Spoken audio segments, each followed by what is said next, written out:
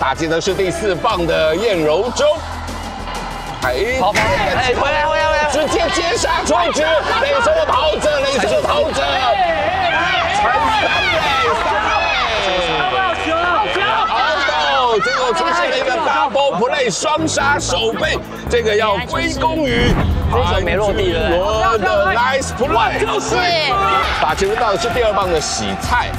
一样打这个球，曹永宁接到超二垒封杀出局。曹永宁虽然是外野手，但是呢，以棒球来讲，他接球完全不是问题啊。是。洗菜快一点，洗菜。潘俊伦，好球！又是。曹永宁洗菜出局了，二出局喽！不过潘军伦成功的站上一垒。打球轮到的是第二棒的洗菜。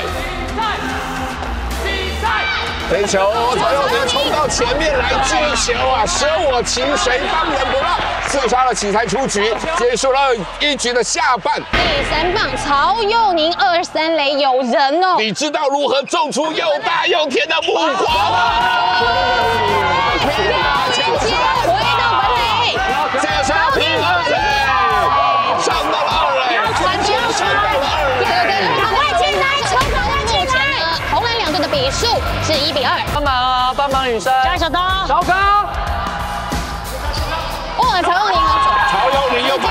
飞球直接接杀，啊，曹佑宁再次进攻了。其实呢，打到目前为止，蓝队的出局数都是曹佑宁啊，几乎他一人包办。接下来大家轮到的是替补上场的第五棒啊，王嘉良。王嘉良也是第一次上场啊，我们来看一下他的表现如何。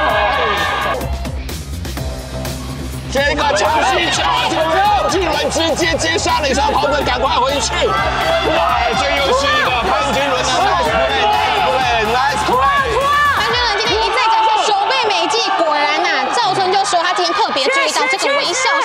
不简单。然后呢，目前的打者又轮到了曹佑宁。啊，刚刚呢这个吴信迪啊，曹佑宁这一个球跳落地过来踩，这是正正正。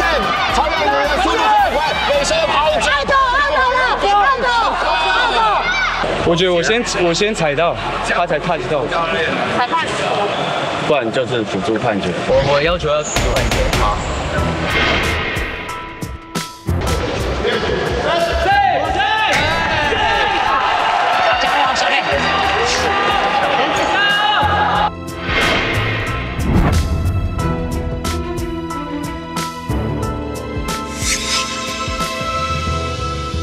打球轮到第二棒的吴新提，吴新提他有一个特殊技能，他四次打击都造成了对手的手背失，他会让对手他没有安打，这次呢，马下接到用触杀的方式，out double play，双杀手背，化解了大半的危机。马俊伦做的相当的好，又真的展现出他的手背没击啊。不过在刚刚前几局可以看到红队展现了非常好的守备技巧。这次这个球对手没有接到跑跑来，刺杀了小哇，曹佑宁刚刚真的是眼明手快哦。曹佑宁无所不在的曹佑宁，真的，全场都是他的守备范围。蓝队最后的希望寄托在林金伦的身上，他今天也打出了已经有四支的安打。对，我们的万能伦伦，这个球，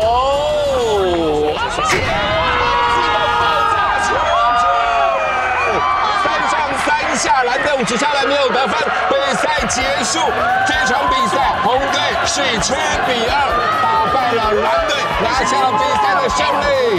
曹宁毕竟是棒球国手。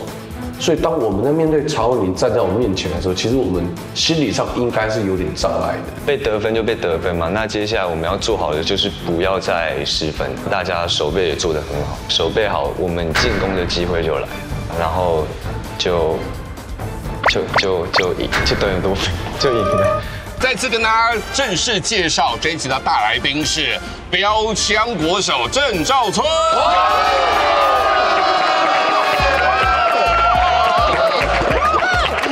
哦，郑兆春呢，大家都知道他是标枪超级霹雳无敌宇宙厉害之外，他也是呢这个台湾的职棒史上开球距离最远的一位开球来宾。嗯，因为太会丢了，对不对？没有没有但我很好奇了，就不知道呢，赵春丢的比较远，还是他的大学同班同学曹佑宁丢的比较远？知道他是你同班同学吧？对对对。那今天来这边开一个同学会，而且我们刚刚在那个主播台那边都是讲说你是无所不在的曹佑宁。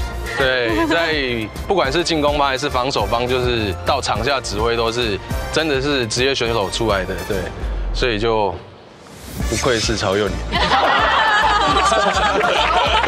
赵春杰的蓝队有哪一个选手的印象深刻？潘君伦，潘君伦。哎，他刚刚他一直说，刚刚赵春一直说那个微笑杀手，那个微笑杀手，对不对？对，尤其是在第一局还第二局的时候，就是守备的时候有一个扑接，就是挡住了红队的得分。没有，我我我相信我们蓝队下一次会更好，准备报仇。好对，好，接下来请这个大来宾颁奖，五人制棒球赛获胜的是红队。